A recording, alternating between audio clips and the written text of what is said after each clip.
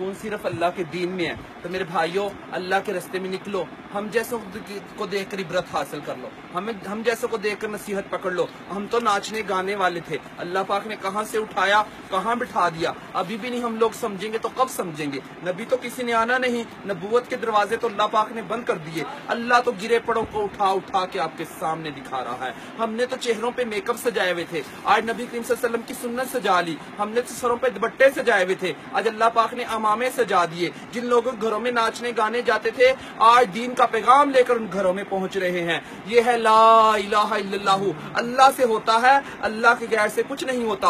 अगर आप लोग दीन का काम नहीं करोगे तो अल्लाह हम जैसों से दीन का काम लेगा। अल्लाह किसी का मोहताज नहीं है। हम सब अल्लाह के मोहताज हैं। अबरा के लश्कर को अल्लाह पाक ने परिंदों के ज़रिए, अबाबील के ज़रिए हलाक किया और बैतुल्लाह शरीफ की हफाजत फरमाकर दिखाई। नमरूद को एक मच्छर के ज़रिए हलाक किया, जिस बादशाह के तख्त पर बैठकर वो सजदे करवाया करता था उसी बादशाह के तख्त पर बैठकर अल्लाह पाक ने उसके सर में छितर मरवा के दिखाए। अल्लाह किसी का मोहताज नहीं हम सब अल्लाह के मोहताज हैं। हमने सबने अल्लाह के पास लौट कर जाना है। तो हमारे नबी करीम सल्लल्लाहु अलैहि वसल्लम ने फरमाया कि अकलमंद इंसान वो है जो मरने से पहले मरने की तैयारी कर ले। तो मेरे भाइयों हम तो मरने की तैयारी में लग चुके अब सब भाई लगेंगे ना इनशाला इनशाला दीन का काम करेंगे ना इनशाला